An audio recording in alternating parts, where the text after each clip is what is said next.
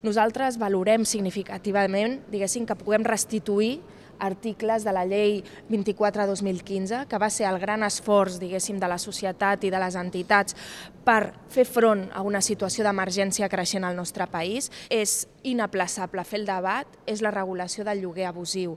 Nosaltres ho plantejàvem com a al·legacions en aquesta, en aquesta llei i creiem que tenim molta pressa i que no podem posposar precisament la regulació. Una segona qüestió que ha quedat fora de la llei i és crítica pels ajuntaments, que és la manca de corresponsabilitat dels grans tenidors d'habitatge amb el seu parc, on hi ha moltes persones en situació, diguéssim, a precari, no? amb, amb el que són les ocupacions, i que hem de donar una resposta. I avui els ajuntaments ho hem de fer en solitari, sense la cooperació dels grans tenidors i sense mobilitzar aquest parc.